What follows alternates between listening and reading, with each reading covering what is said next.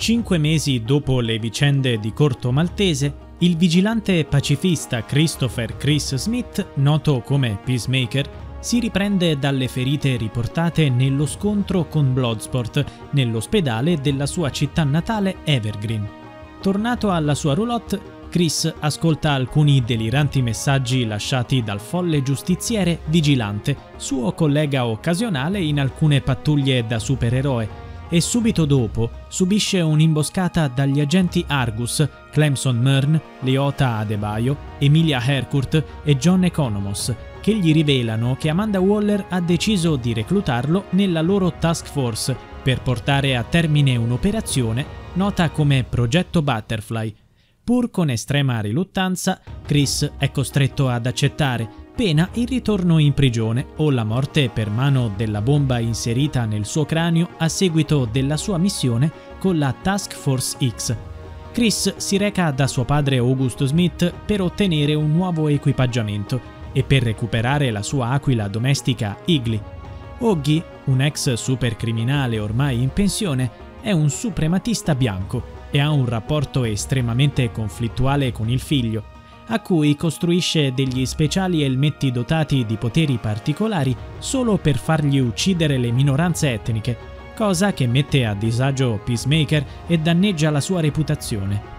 Contemporaneamente al covo della squadra, Harcourt ed Economos rivelano alla novellina Adebayo di essere stati inseriti nella squadra come punizione per aver aiutato la Suicide Squad contro Starro il Conquistatore e la mettono in guardia sui tradimenti che la Waller è capace di fare verso i suoi stessi sottoposti.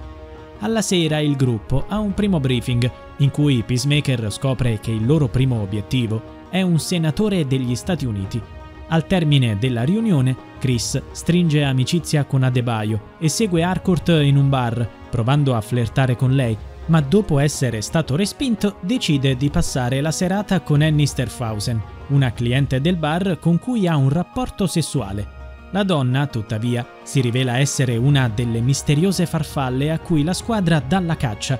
Dopo uno scontro brutale, Chris riesce a ucciderla con uno dei propri elmetti ma sente in lontananza le sirene della polizia che si avvicinano al luogo. Nell'appartamento che condivide con la moglie Keia, Adebayo viene incaricata da Amanda Waller, in realtà sua madre, di prelevare un diario creato da un falsario per una missione che dovrà nascondere ai compagni di squadra. Grazie al supporto di Adebayo e di Harcourt, Peacemaker riesce a fuggire dall'appartamento di Sterfausen, sfuggendo ai poliziotti guidati dai detective Sophie Song e Larry Fitz Fitzgibbon. Informato della situazione, Mern incarica Economos di sostituire le impronte digitali di Chris e la targa della sua auto con quelle di qualcun altro, ma si infuria quando il collega sceglie Oggy come capro espiatorio. Mentre i membri del team si accusano a vicenda di aver informato il nemico, Peacemaker risolve la situazione rivelando di aver accidentalmente fatto leggere a Sterfausen il fascicolo sul progetto Butterfly, aumentando il disprezzo degli altri nei suoi confronti. Mern è così costretto a incaricare Adebayo di corrompere i coniugi Calcaterra, presi in ostaggio da Peacemaker nella fuga dall'appartamento, al fine di fargli testimoniare il falso. Grazie alle finte prove, Song e Fitzgibbon possono arrestare Oggy per l'omicidio. Tornato nella sua roulotte, Chris scoppia a piangere ripensando alla morte di Rick Flag e al suo atteggiamento tossico verso il prossimo. Poco dopo, alla roulotte, arriva Vigilante, che tenta goffamente di consolare l'amico definendo quelli come loro assassini nati. I due giustizieri si sfogano sparando in un bosco e consumando un rapporto a tre con Amber Calcaterra, ma dopo aver fumato dell'erba, Chris scopre che Sterfausen era in possesso di una minuscola astronave, intuendo così che le farfalle hanno origine aliena. Portato in prigione da Song, Oggy viene inneggiato dagli altri detenuti razzisti, che lo chiamano con il suo nome da supercriminale, Drago Bianco. Dopo un incontro surreale con Vigilante, la squadra si reca verso la residenza del loro primo obiettivo, il senatore degli Stati Uniti Royland Goff. Durante il viaggio, Chris scopre che potrebbe essere costretto ad uccidere i figli di Goff, cosa che lo mette a disagio nonostante le sue passate dichiarazioni sulla sua assenza di scrupoli.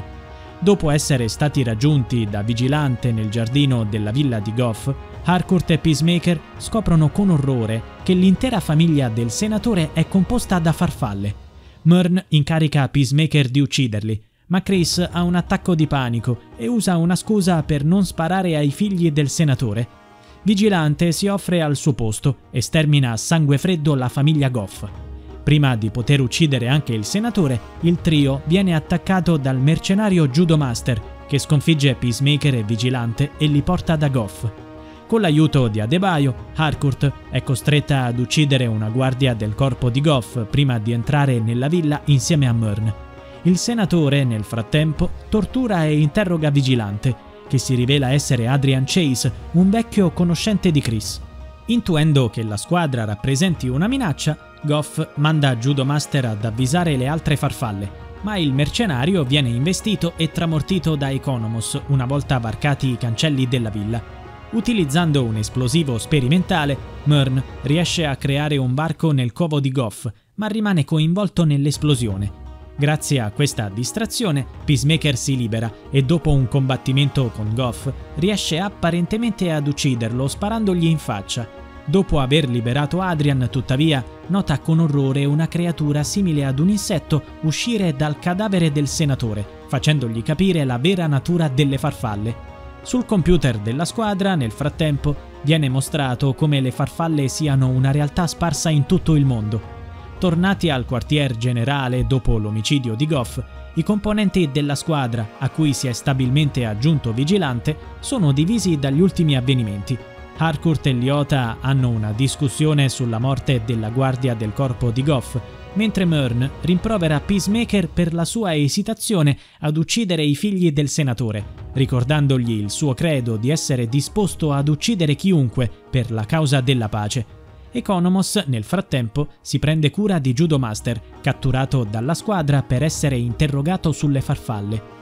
Chris e Adrian si recano a casa di Oggy per prelevare nuovi elmetti e litigano per il fatto che Peacemaker ha permesso a Goff di torturare l'amico. Una volta all'esterno, Chris scopre da un vicino che Oggy è stato arrestato al suo posto e, nonostante i pareri contrari di Myrn e Adebayo, si reca in prigione per raccontare tutto al padre. Questo porta alla rottura definitiva tra i due e Oggy minaccia di spifferare ai detective la responsabilità di suo figlio. Riconoscendo Adrian come vigilante, Adebayo prova a convincerlo che il modo migliore per aiutare Chris sia sbarazzarsi di suo padre per liberarlo dalla sua influenza. Adrian escogita così un piano per uccidere Oggy, sfondando una finestra della stazione di polizia di Evergreen e facendosi arrestare. Una volta portato in prigione, egli si avvicina al gruppo degli ariani e li provoca per scatenare una rissa mortale ma Oggy si accorge del suo piano e fa in modo di non rimanere coinvolto nello scontro. A peggiorare la situazione, l'ex supercriminale si convince dalle parole di Adrian che Chris voglia ucciderlo, portandolo a richiedere un incontro con Song e Fitzgibbon. Quella sera Adrian viene invece liberato da Harcourt, confessandole di aver peggiorato la situazione. Nel frattempo Judo Master riesce a liberarsi e pesta brutalmente Economos, poco prima dell'arrivo di Adebayo e Peacemaker, con cui ingaggia uno scontro alla pari. Durante il duello, tuttavia, l'artista marziale prova a spiegare la vera motivazione delle farfalle al suo avversario, ma prima di poterlo fare viene colpito al petto da Adebayo e mandato in coma. Mentre Myrn rimprovera i suoi sottoposti per gli ultimi avvenimenti, un sempre più dubbioso Peacemaker torna alla sua roulotte dove ritrova Igli e la farfalla presente nel cadavere di Goff, che ha deciso di tenere come animale domestico a insaputa degli altri. Dopo aver sentito Adebayo parlare del suo passato, Chris chiede ad Harcourt cosa è scritto nel suo fascicolo e la collega gli parla dei suoi rapporti burrascosi col padre e della morte misteriosa di suo fratello Kit, che a quanto pare lo avrebbero segnato indelebilmente. Tornato nella sua roulotte, Chris passa la serata ballando e fumando marijuana per superare lo stress degli ultimi avvenimenti e in questa occasione ripensa alle sue vittime che più lo hanno segnato, ovvero il primo uomo che fu costretto ad uccidere per ordine di suo padre, Rick Flagg, e suo fratello Kit. Trovando una connessione tra Annie Sterfausen e Goff, Adebayo avvisa Myrn che a sua insaputa è in realtà una farfalla Al quartier generale Mern spiega a Peacemaker e Vigilante che le farfalle sono delle creature aliene che si infiltrano dagli orifizi per uccidere le altre forme di vita e prendere il controllo del loro corpo e delle loro memorie. Dopo che Mern ha portato alla luce il problema a seguito di indagini private, Waller ha quindi autorizzato un'indagine non ufficiale spostando fondi di altre operazioni per creare il progetto Butterfly, la spiegazione viene tuttavia interrotta dall'ennesimo litigio tra Economos e Peacemaker, furente con il collega per aver incastrato suo padre. Il gruppo parte quindi alla volta della compagnia di imbottigliamento Glentie, in cui lavorava Annie Sterfausen e a cui era legato Goff. Mentre Economos resta di guardia, gli altri si dividono in due gruppi e Vigilante e Harcourt scoprono che nella fabbrica viene prodotto il misterioso liquido ambrato di cui si nutrono le farfalle. Adebayo e Peacemaker scoprono invece che tutti gli operai sono in realtà alieni sotto copertura e provvedono ad eliminarli, ma insieme ai compagni cadono in un'imboscata del guardiano della fabbrica, una farfalla che ha preso possesso del gorilla Charlie. La squadra viene rapidamente sconfitta, ma prima che Charlie possa uccidere Chris interviene Economos, che sventra il nemico con un motosega, guadagnandosi il rispetto degli altri. Il gruppo completa così la missione e può tornare alla base. Nel frattempo, Mern riceve la visita di Caspar Locke, un sinistro mercenario di sua conoscenza soldato da Waller per mantenere Oggy dietro alle sbarre. Questi sostituisce il capitano della polizia locale e chiude le indagini di Song, che era riuscita nel frattempo a collegare le impronte dell'omicidio Sterfausen a Peacemaker grazie a una soffiata di suo padre e aveva risentito i testimoni scoprendo che erano stati corrotti. Non volendo mollare la pista, la poliziotta si reca insieme a Fitzgibbon da un suo zio giudice per scavalcare Locke e risolvere la faccenda. La squadra ottiene da Mern la serata libera dopo il successo della missione e Harcourt crea un gruppo WhatsApp. Chris porta Adebayo nella sua roulotte per festeggiare insieme e le mostra la foto di Kit e un ritaglio di giornale sulla sua prima azione da supereroe, l'arresto del supercriminale Kite Man. Adebayo esorta quindi l'amico ad essere più se stesso e di non nascondersi dietro alla maschera di Peacemaker. Tuttavia, quando Chris si distrae, Adebayo è costretta a malincuore a eseguire la missione affidatale da Waller, nascondendo un finto diario nella roulotte. Tornata al quartier generale della squadra, Adebayo indossa l'elmetto con la visione ai raggi X di Peacemaker e scopre con orrore che Mern è una farfalla, venendo immediatamente inseguita e catturata prima di poter scappare. Mern rassicura Adebayo promettendole di non farle del male e i due vengono raggiunti da Harcourt, che conferma di aver intuito insieme ad Economos la vera natura del loro leader dopo essere sopravvissuto all'esplosione nella villa di Goff.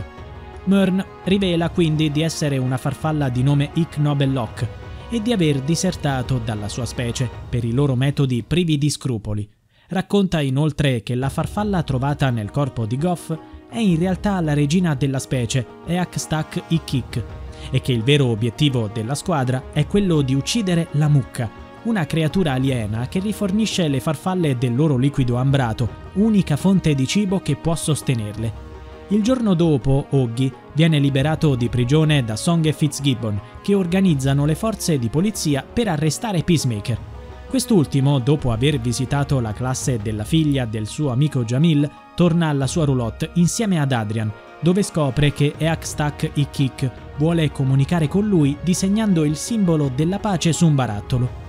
I due, tuttavia, vengono interrotti dai poliziotti e sono costretti a scappare insieme a Digli, ma durante la fuga Vigilante fa cadere il barattolo con all'interno la farfalla, che ne approfitta per uccidere Song e prendere il controllo del suo corpo.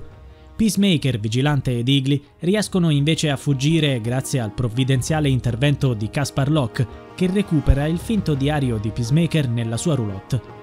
Riunitosi con gli altri componenti del gruppo, Chris si rende conto che i suoi amici gli nascondono qualcosa e se ne rammarica, mentre Economos informa il gruppo di essere riuscito ad identificare la base delle farfalle nel Coverdale Ranch, ipotizzando che la mucca sia nascosta lì. Alla sera, i Kick nel corpo di Song guida un esercito di farfalle da tutto il mondo per assaltare la stazione di polizia, uccidendo Fitzgibbon, Locke e la maggior parte dei poliziotti e dei detenuti di Evergreen, prendendo il possesso dei loro corpi. Contemporaneamente, Oggy decide di uccidere il figlio e dopo aver rifondato l'impero ariano torna ad indossare i panni di Drago Bianco, venendo acclamato dai suoi seguaci. Rimasto solo con Harcourt, Chris rivela all'amica di non voler più uccidere nessun essere umano dopo la morte di Flag e si mette a suonare per esprimere il proprio nuovo stato d'animo. I due, tuttavia, fanno insieme a Vigilante una sconvolgente scoperta. In tv le farfalle che controllano i poliziotti mostrano il finto diario, che si rivela essere una finta confessione fatta scrivere da Waller per incastrare Peacemaker di ogni delitto commesso dalla squadra e Locke nomina ufficialmente il vigilante un pericolo pubblico. In un flashback, il giovane Chris e il fratello maggiore Kit sono costretti da Oggy a combattere un match di pugilato per il suo giro di scommesse clandestine. Durante l'incontro Chris viene esortato dal padre a colpire più forte, ma in questo modo finisce per far sbattere la testa di Kit contro un masso, provocandogli un trauma cranico. Questo evento incrina il rapporto tra Oggy e Chris e traumatizzerà per sempre il ragazzo, spingendolo a dedicare la propria vita alla causa della pace per redimersi e superare il senso di colpa. Nel presente Chris rinnega Adebayo e il resto della squadra per averlo manipolato tutto il tempo e parte insieme a Vigilante, Igli e un riluttante Economos per uccidere la mucca una volta per tutte, senza accorgersi che Judo Master è riuscito a scappare. Harcourt si reca nel motel in cui alloggiano i membri del team e affronta Adebayo per aver tradito Peacemaker, scoprendo che è la figlia di Amanda Waller e che è stata spinta a prendere parte alla missione sfruttando un suo momento di difficoltà economica. In quel momento però le farfalle riescono ad arrivare al motel grazie ai ricordi di Caspar Locke e Ike Nobel Locke decide di sacrificarsi per salvare le compagne attirando l'attenzione dei nemici e venendo ucciso da Eakstak i Kik. Una volta andate via le farfalle, Harcourt e Adebayo assistono impotenti alla morte del loro amico poco prima di subire l'attacco di Judo Master, che riescono a sconfiggere lavorando insieme. Nel frattempo i ragazzi vengono attaccati da Drago Bianco e dai componenti dell'impero ariano e Vigilante rimane indietro per permettere ai suoi amici di scappare. Chris ed Economos capiscono che i nemici riescono a rintracciarlo grazie al segnalatore nell'elmetto di Peacemaker e se ne sbarazzano per depistarli, ma quando vengono recuperati da Adrian si accorgono che quest'ultimo ha rubato la macchina in cui l'impero ariano custodiva gli altri elmetti. Chris si allontana per sbarazzarsene, ma viene raggiunto da Drago Bianco che ferisce gravemente Igli e pesta brutalmente il figlio.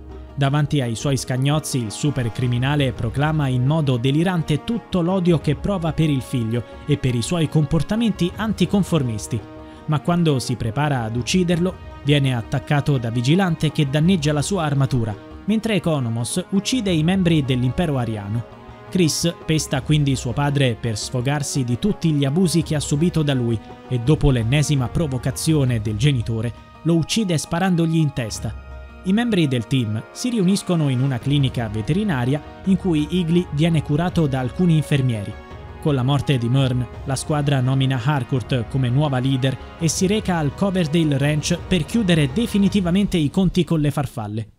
Nonostante Adebayo provi a chiedergli scusa, Peacemaker si rifiuta di perdonarla e torna a ribadire il proprio credo, ovvero la difesa della pace a qualsiasi prezzo, Dopo aver chiesto a Waller di chiedere aiuto alla Justice League, la squadra escogita un piano, affidando ad Igli un elmetto in grado di provocare forti onde soniche, in grado di apportare grandi danni al ranch prima del loro attacco.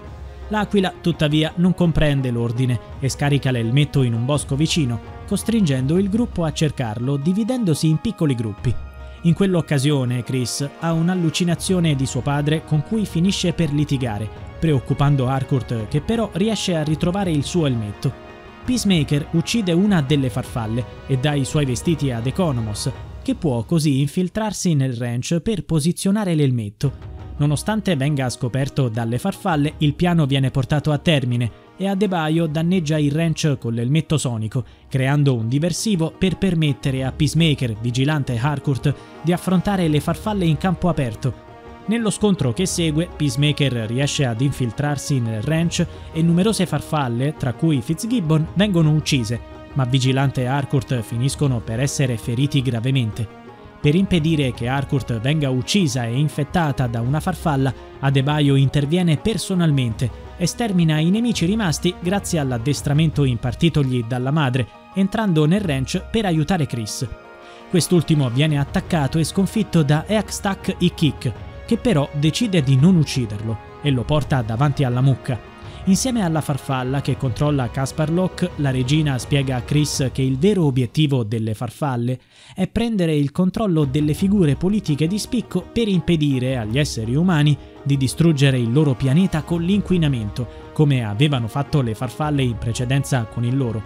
Ringraziandolo per averla accudita per alcuni giorni, Eakstak Ikik propone a Peacemaker di schierarsi insieme a loro per la difesa della pace come aveva fatto in passato Judo Master, lasciando al supereroe la scelta di uccidere la mucca o di aiutarli a teletrasportarla in un luogo sicuro.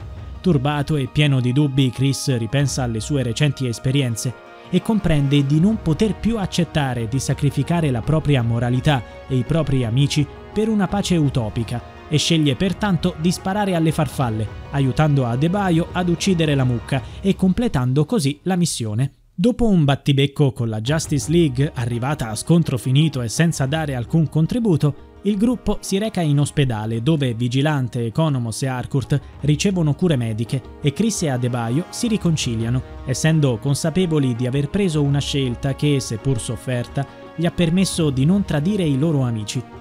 Mentre Judo Master piange per la morte delle farfalle al Coverdale Ranch, Adebayo riabilita l'immagine di Peacemaker, rivelando al mondo l'esistenza della Task Force X. Con la missione ormai terminata, la squadra viene sciolta e i suoi componenti proseguono nelle loro vite. Adebayo si ricongiunge con la moglie Kia. Harcourt si riprende in ospedale dalle ferite riportate. Economos torna ad essere il direttore di Bell Reeve e Vigilante riprende le sue avventure insieme a Peacemaker. Tornato nella sua roulotte, Chris beve birra in compagnia di Igli e di ex-Tac Ikik, che in assenza di cibo decide di passare i suoi ultimi giorni con i suoi ex avversari.